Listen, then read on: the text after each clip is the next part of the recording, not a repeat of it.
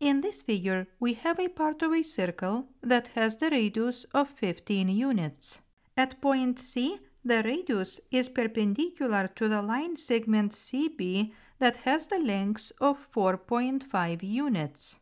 The angle ABC measures 102 degrees and we need to find the length AB. To find AB, first we will start by connecting points O and B. Now we have a right triangle formed BCO. In this right triangle, one side is 15 units, the other one is 4.5, and we can find the hypotenuse using the Pythagorean theorem. We will write that one side squared plus the other side squared equals the hypotenuse squared. So 15 squared plus 4.5 squared equals OB squared. The left side is 245.25 and the right side is OB squared. Then to find OB, we will take the square root of 245.25.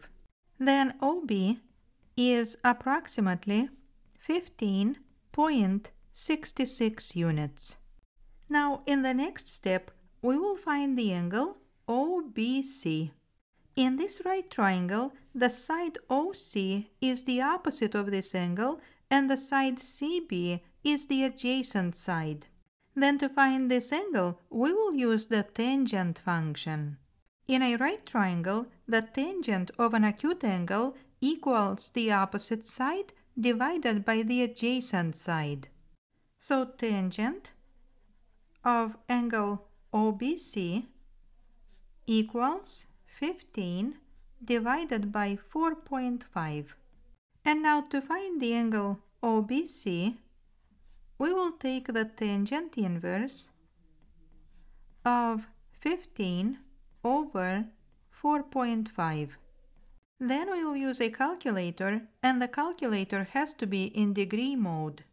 Then angle OBC is approximately 73.3 degrees. Once we know the angle OBC, we can find the angle ABO by subtracting 73.3 degrees from 102 degrees. So angle ABO equals 102 degrees minus 73.3 degrees. Then angle ABO equals 28.7 degrees. In the next step, we will connect the points A and O to form another triangle. In this triangle, the side AO is 15 units because this is the radius of the circle. The side BO is 15.66 units and the angle ABO is 28.7 degrees. This triangle is not a right triangle and to find the side AB we will use the law of sines. So before we continue, let's review the law of sines. So here we have a triangle with the angles A, B and C. The side opposite of angle A is side A and the side opposite of angle B is side B, and the side opposite of angle C is side C. Then the law of sines tells us that side A divided by sine of angle A is equal to side B divided by sine of angle B, and this is equal to side C divided by sine of angle C. When we apply this law, we use only two of these ratios at a time. For example, if we know the angles A and B and side B, then we can use these two ratios to find side A. Notice that to find the side, we need to know the opposite angle as well as another side and its opposite angle. Now, in our triangle, we know one side and the opposite angle, and to find the side AB, we also need to know the angle that is opposite of this side. To find this angle, first we need to find the angle OAB. I will clear here some space and we will find the angle OAB. I chose to find this angle because we know the opposite side. Then according to the law of sines, side AO divided by sine of angle ABO equals side OB divided by sine of angle OAB.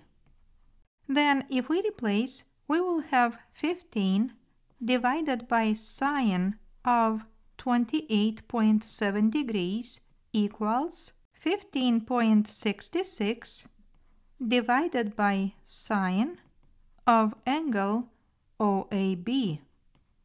Now we will solve this equation and we will find the angle OAB and to solve it we will use cross multiplying.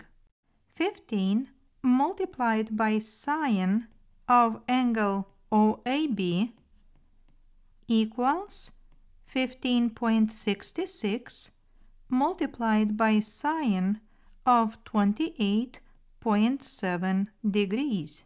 In the next step, we will divide both sides by 15. Then on the left side, 15 will cancel. And now to find the angle OAB, we will take sine inverse of the right side. So angle OAB equals sine inverse parenthesis and inside we will write 15.66 multiplied by sine of 28.7 degrees divided by 15. Then if we use a calculator, we will get that the angle OAB is approximately 30.09 degrees. And now in the given triangle, once we know these two angles, we can find the angle OAB by subtracting these two angles from 180 degrees.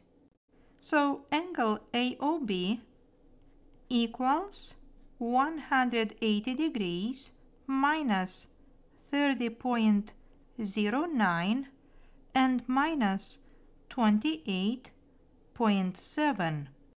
Then angle AOB equals 121.21 degrees.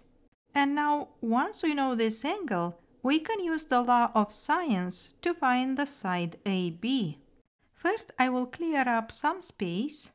Then we will write that side AB divided by sine of the opposite angle 121.21 degrees equals and now in the second ratio I can use either one of the given sides and the opposite angle.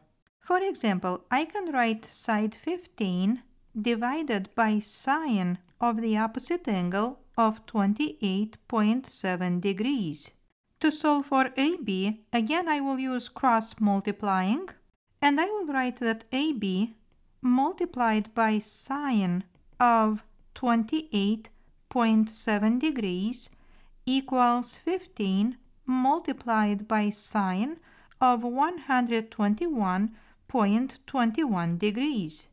Now we will divide both sides by sine of 28.7 degrees and on the left side sine of 28.7 degrees will cancel and AB will be equal to 15 multiplied by sine of 121.21 degrees over sine of 28.7 degrees. Then we will use a calculator and again the calculator has to be in degree mode. Then we will find that AB is approximately 26.71 units. So we found AB and now the problem is completed. I hope you liked this problem and the solution and if you found any other way of solving it, please leave a comment and I will really appreciate it. Thank you for watching.